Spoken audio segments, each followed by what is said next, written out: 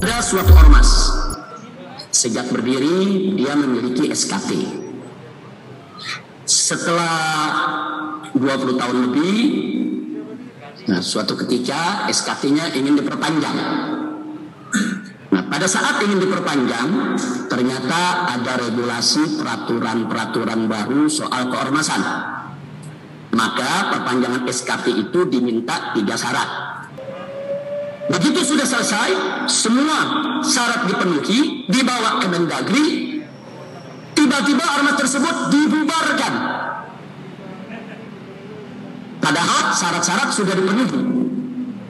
Nah, yang ingin saya tanyakan kepada uh, saudara ahli, terus terang saya bingung begitu. Melihat ada kejadian ormas seperti itu, saya bingung. Saya tadi juga melihat saudara ahli ada mengatakan ada beberapa penerapan hukum yang saudara ahli juga bingung. Nah, saya ingin bagaimana supaya tidak bingung bisa memahami kejadian ini. Terima kasih.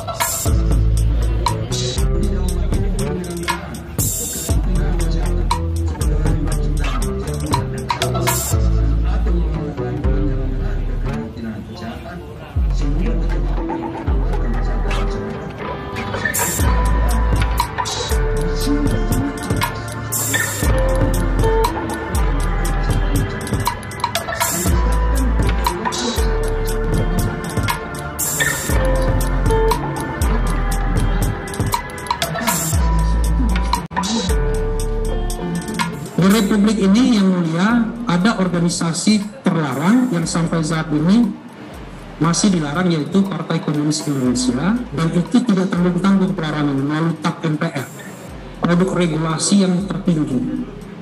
Kenapa? Karena disadari ini adalah soal pembatasan hak asasi manusia. Itu partai politik yang banyak mengikutnya.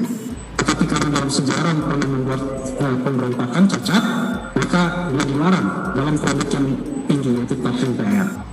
Memang alasan seperti itu yang masuk akal. Karena memang ada alasan materialnya.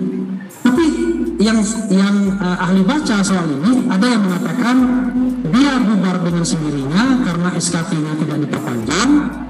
Lalu begitu saja menjadi organisasi yang terlarang.